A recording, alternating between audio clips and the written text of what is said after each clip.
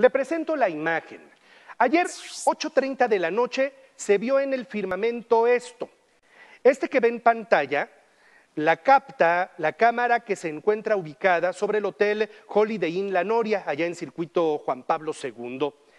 Todo pareciera indicar que esta luz que ve en pantalla, que este destello, fue el ingreso a la atmósfera terrestre de basura espacial. ¿Qué es basura espacial?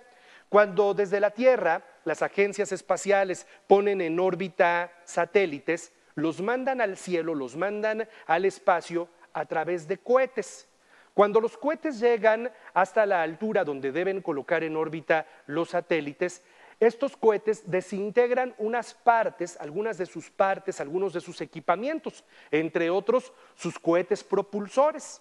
Y entonces toda esta basura espacial se queda circundando la Tierra y llega un momento en el que en algunos casos esta basura espacial entra a la atmósfera terrestre, hace fricción con la atmósfera terrestre y provoca ese destello, destellos como ese. Algo parecido pasa cuando entra algún bólido, algún meteorito, que este, bueno, pues es de origen, de, de origen galáctico, vaya, entra a la atmósfera terrestre, se calienta y provoca ese tipo de resplandor. El de ayer por la noche pareciera que fue el resto de un cohete ruso del cohete Soyuz 2, que en noviembre de 2019 colocó en órbita dos satélites. Cumplió su misión y algunas de sus partes se quedaron en la atmósfera. Y ya había el pronóstico de que va a estar ingresando a la atmósfera terrestre algunos de los restos de, de, este cohete. Y eso pareciera que fue lo que vimos ayer por la noche, no solo aquí en Puebla, en Querétaro, en Cuernavaca, en Toluca,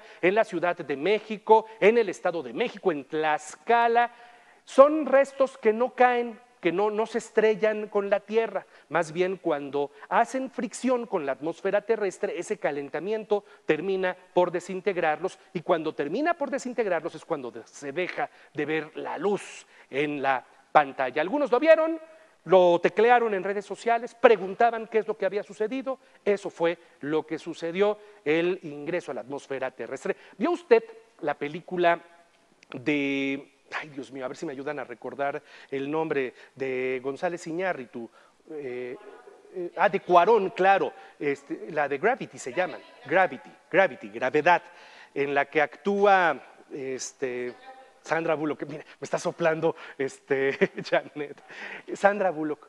Esa es la basura espacial, ¿no? ¿Se acuerda que ellos, forman parte de una misión que se encuentra en la, en la, Estación Espacial Internacional y están en una misión y están incluso hasta desarrollando caminatas espaciales y están todos muy tranquilos y de repente desde la Tierra viene la alerta de que hay basura espacial que va a cruzar con la órbita en la que se encuentra la Estación Espacial Internacional.